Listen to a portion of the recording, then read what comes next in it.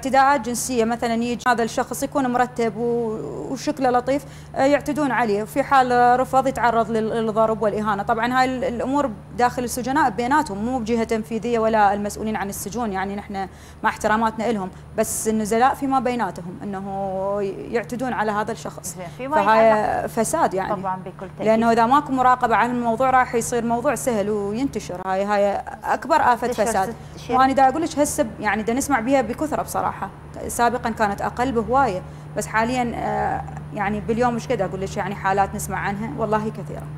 وايد باليوم السمعين والله حالتين ثلاثة أسمع متعرضين لحالة الاعتداء.